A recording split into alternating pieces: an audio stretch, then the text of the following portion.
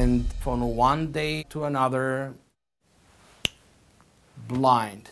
Four and a half years ago, when I lost my sight, I had no idea what I was going to do. Losing my career, my income, I would sit at home crying. I was depressed, I was angry, and here in the lighthouse, I learned that there is a possibility the Lighthouse is the only 501c3 in Broward County that serves people with visual impairment. Some of the standout resources that we provide at the Lighthouse of Broward is a fully functional kitchen and home environment. The skills that we're teaching here are important because they're not taught in other places. We have five programs that address different ages and stages of life, literally from birth to 107. This program is designed for clients who want to get back to work. They come through and they first get all the skills they need from orientation mobility to assistive technology to braille skills. This program has shown us that everyone is capable. The program has helped me become more productive and more confident. Our summer camp is tailor-made for visually impaired students so they retain the education they learned in the previous school year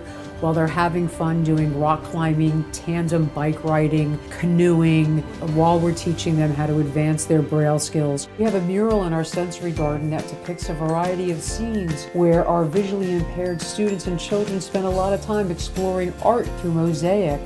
Audio Jungle.